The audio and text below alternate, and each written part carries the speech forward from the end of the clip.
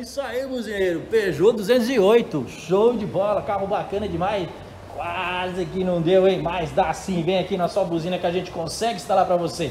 Aquela dupla poderosa, dupla marítima. Toca aí, Joe! Nossa senhora, o Peugeot disfarçado de caminhão, hein? Precisou de buzina?